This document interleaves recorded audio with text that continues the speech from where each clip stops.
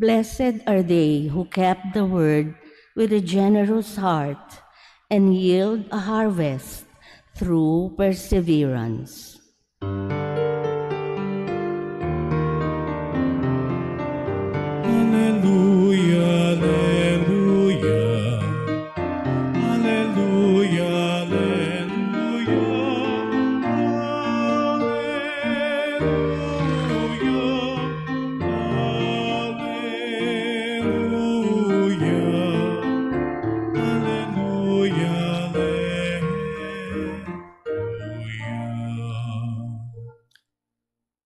The Lord be with you. and with your spirit. A reading from the Holy Gospel according to Saint Luke. Glory to you, O Lord.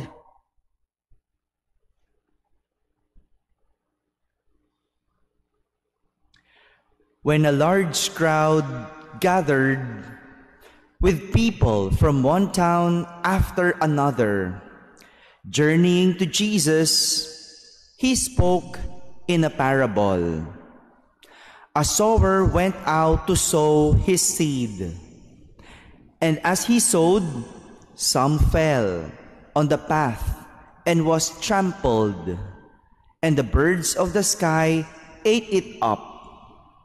Some seed fell on rocky ground, and when it grew, it withered for lack of moisture. Some seed fell among thorns, and the thorns grew with it and choked it. And some seed fell on good soil, and when it grew, it produced fruit a hundredfold. After saying this, he called out, Whoever has ears to hear ought to hear. Then his disciples asked, What the meaning of this parable might be? He answered, Knowledge of the mysteries of the kingdom of God has been granted to you, but to the rest they are made known through parables, so that they may look but not see, and hear but not understand. This is the meaning of the parable. The seed is the word of God. Those on the path are the ones who have heard, but the devil comes and takes away the word from their hearts, that they may not believe and be saved. Those on rocky ground are the ones who, when they hear, receive the word with joy, but they have no roots. They believe only for a time and fall away in time of temptation. As for the seed that fell among thorns, they are the ones who have heard, but as they go along, they are choked by the anxieties and riches and pleasures of life, and they fail to produce mature fruit. But as for the seed that fell on rich soil, they are the ones who, when they have heard the word, embraced it with a generous and good heart, and bear fruit through perseverance. My friends, the gospel of the Lord. Praise to you, Lord Jesus Christ. Please be seated. Good morning, my dear brothers and sisters. Yesterday, we heard from our gospel that Jesus and his apostles, together with other women, went to different places and towns to preach the word of God. Continuation po ito noong kahapon. Kung kahapon, pinakita kung paano nagbayan-bayan si Jesus, kung paano nagpunta sa iba't ibang lugar kasama ng kanyang labindalawang alagad at ibang mga babae para mangaral ng salita ng Diyos. Yung kanilang misyon was even sustained by the resources of the women. Yung mga ari-arian pa ng mga kababaihan ang sumustento o tumustos para maipagpatuloy nila ang kanilang misyon, ang mangaral ng salita ng Diyos. That was yesterday. Today, we are being given an example of how Jesus and his apostles were preaching. Kung kahapon nagbayan-bayan, ngayon nangaral. At ipinapakita sa atin kung paano nangangaral si Jesus at ang kanyang mga alagad. And it is through a form of parable. Hindi lang siya sermon ng sermon. He tells stories. He tells parable. He uses parables to preach.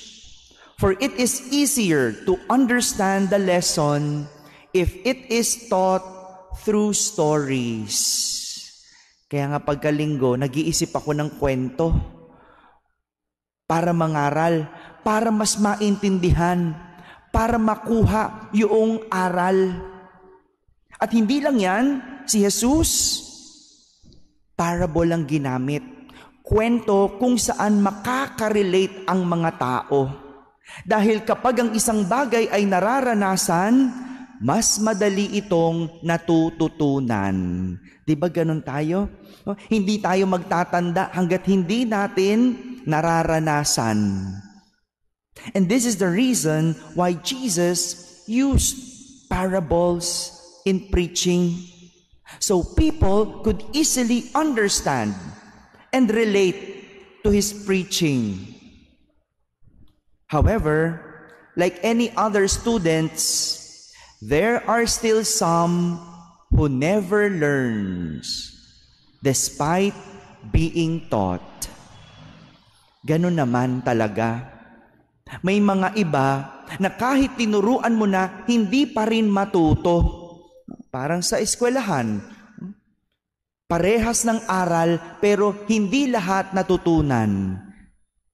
This is what the parable of the sower is all about. Same seeds that were sown, but everyone or but not everyone grew and produced fruit. Pat ganon, no? Pare-parehas naman ang binhi, pero bakit hindi lahat tumubo, lumago at nagkabunga? Because the parable said there are different kinds of soil. Kahit iisa ang binhi, iba't iba ang lupa, kaya iba't iba ang paglago. No matter how good the seed is, its growth depends on the kind of soil it is being sown in. Same in our life. Parehas din po sa ating buhay.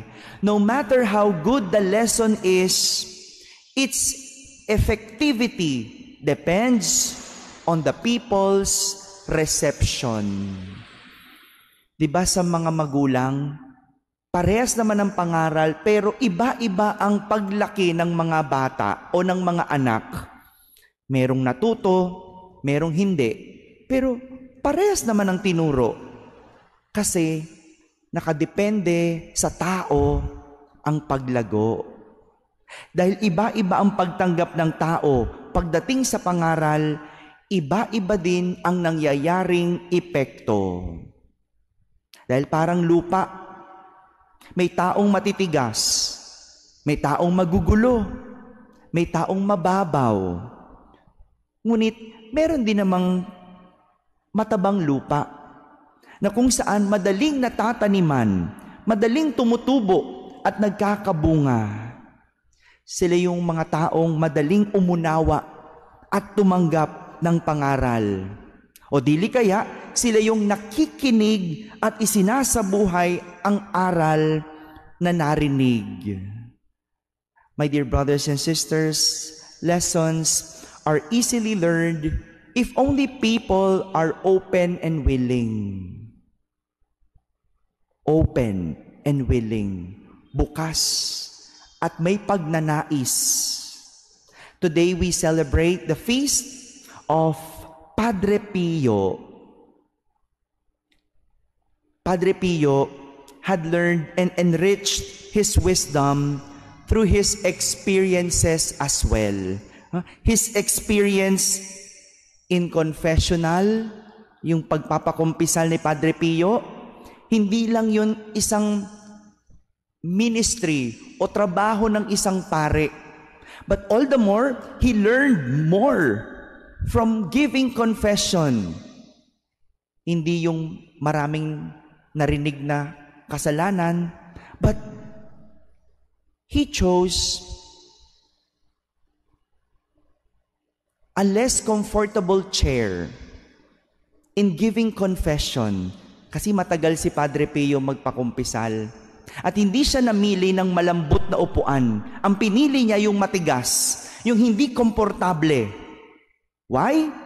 Because for him, it is a way to learn that less material possessions he had meant the more room in his heart for Christ. Kapag masyado kang komportable, wala kang puwang para magbigay sa Diyos. Look at that wisdom. Look at that experience. Upuan pa lang yun. Pero yun ang kanyang natutunan. Oh, Yung wag maging masyadong komportable para makapagbigay pa ng puso para sa Diyos. Imagine that. Naabot niya yung wisdom na yon. And even in fasting, for him, fasting is not only a religious practice, no? Hindi lang yon. It is not only that, but it is a way to deny worldly goods for him to be able to turn away from his own desires.